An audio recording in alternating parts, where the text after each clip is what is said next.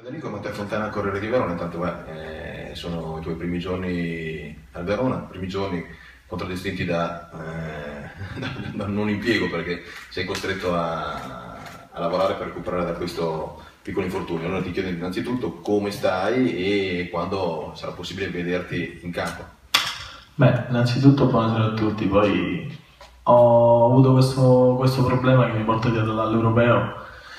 e sono arrivato qua avendo avuto pochi giorni di vacanza perché volevo essere subito, subito col gruppo, partire, partire subito col gruppo. E sono qua e sono venuto per, per curarmi diciamo perché fino adesso non sono mai riuscito a fare l'allenamento con la squadra, ho solo fatto il lavoro atletico, poi mi sono fermato perché ho ancora questo fastidio e niente, però stiamo lavorando con, con lo staff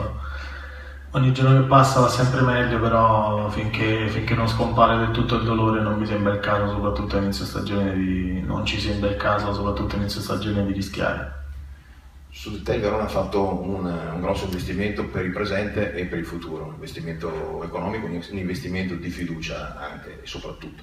Mm, ecco, tu come ti presenti in questa nuova realtà e in questa che è la, la tua prima grande avventura non in Serie A?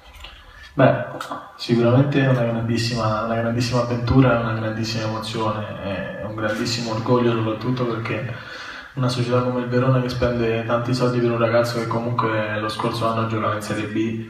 e penso che sia veramente un grandissimo orgoglio. Io sono arrivato qua con tanta voglia di fare e tanta voglia di, di mettermi a disposizione del mister e dei, comp- dei compagni per, per cercare di, di, di, portare avanti la stagione nel migliore dei modi tu sei cresciuto nel, nel vivaio della Roma, eh, la, la Roma è stata ed è anche patria di, chiamiamola patria, ecco, penso che sia anche un termine piuttosto sensato, di grandissimi registi, grandissimi centrocampisti, eh, a parte l'ultimo De Rossi, poi ovviamente Giannini senza andare dietro a Falcao, ecco, tra questi grandi nomi c'è qualcuno che, a cui sei particolarmente affezionato emotivamente, magari la, la, la giovane età non ti permette di ricordare quelli più distanti se non eh, nella, per il racconto eh, o nella memoria di chi c'era, però magari rivedendolo c'è, c'è, c'è stato qualche si dice, fonte di ispirazione o qualcuno che è, per te è un simbolo da seguire. Beh, eh, nonostante non ho avuto la fortuna di, di vedere giocare Falcao e Giannini perché Falcao ancora non ero nato, Giannini forse ero veramente piccolissimo e ho avuto la fortuna di avere a che fare con Daniele De Rossi e penso che sia normale che sia stato lui un po' la mia chioccia diciamo quando ero a Roma perché mi dava tanti consigli, perché mi aiutava tantissimo, perché lasciando da parte il giocatore perché non devo essere io qua a dire che tipo di giocatore è perché lo, lo abbiamo sempre ammirato tutti sul campo, l'abbiamo sempre visto tutti sul campo. Io ho avuto la fortuna di conoscerlo, ho avuto la fortuna di giocare con lui, anche esordire con lui nella Roma, quindi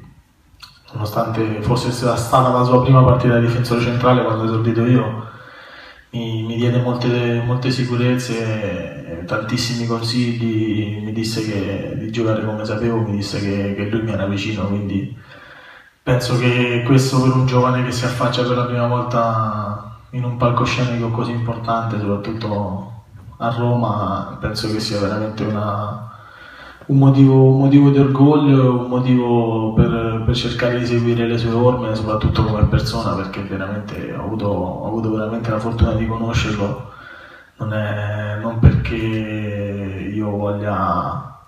voglia sempre elogiarlo, voglia sempre, voglia sempre parlare di lui, però comunque penso che mi ha aiutato tanto, mi ha aiutato tanto a crescere. E, sicuramente è un grandissimo campione che ancora a 32 anni gioca a questi livelli dopo una vita giocata nella Roma e penso che sia stata quella la, la cosa che lo ha portato avanti perché l'umiltà, la, l'aiutare i giovani che si affacciano alla prima squadra sia, è una cosa, una cosa molto importante. Un'ultima cosa, questo parliamo di centrocampisti, in questo momento tu non ci sei, e la tua posizione la sta occupando prima amichevoli, che sono naturalmente interlocutori, però qualche indicazione la danno, un altro eh, figlio della lupa, nel senso naturalmente sportivo, che sia ben chiaro, eh, ossia Leandro Greco, che presumo, beh, tu avrai, avrai avuto modo già di conoscere i tempi in cui eravate con età diverse in giallo-rosso. Sì, con, con Leo ho passato un anno, un anno in prima squadra, il mio primo anno nella Roma dove ho anche esordito, abbiamo anche giocato qualche partita insieme, quindi lo conosco, lo conosco bene.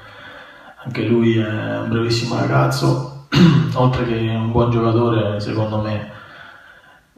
Abbiamo, abbiamo, un centrocampo in una squadra che, che, secondo me può fare molto bene. Chiunque gioca si mette a disposizione del mister e può fare bene. L'importante è che la squadra vada bene e che la squadra raggiunga dei risultati. Poi